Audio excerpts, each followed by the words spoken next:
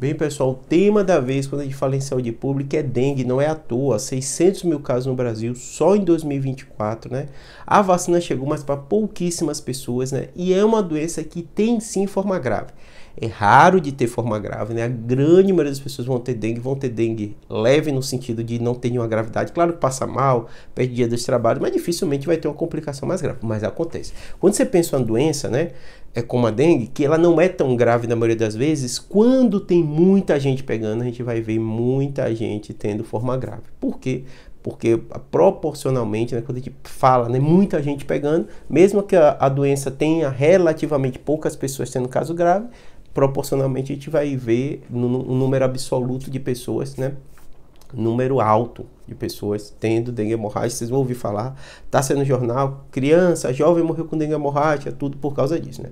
Vamos lá, né? Que esse termo, né? Que não é um termo técnico de dengue hemorrágica, são as formas graves da dengue. A gente sabe que tem tipos diferentes de dengue, né?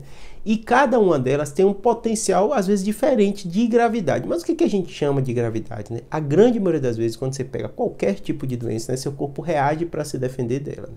Nesse processo de se defender, muitas vezes eles dão os famosos sintomas que todo mundo sabe, né? Que é a febre alta no caso da dengue, a dor de cabeça, dor nas articulações, dor muscular muito intensa, prostração, a pessoa fica meio prostrada e dura ali poucos dias, depois vai embora na grande maioria das pessoas.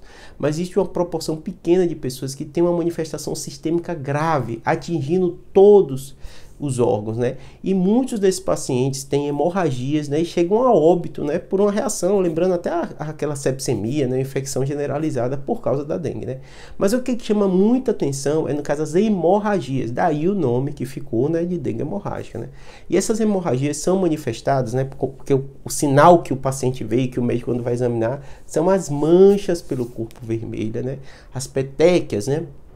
Que existe até uma prova que chama prova do laço, é um termo médico, mas só para vocês entenderem, que é como se você estimulasse para ver se aquela pessoa tem algum problema de coagulação, apenas colocando, chama do laço por isso, né, que antigamente se colocava um laço, mas fazendo um garroteamento e você vê é, manchinhas surgindo por causa desse processo. Né? E qual o grande problema disso? Sangramento.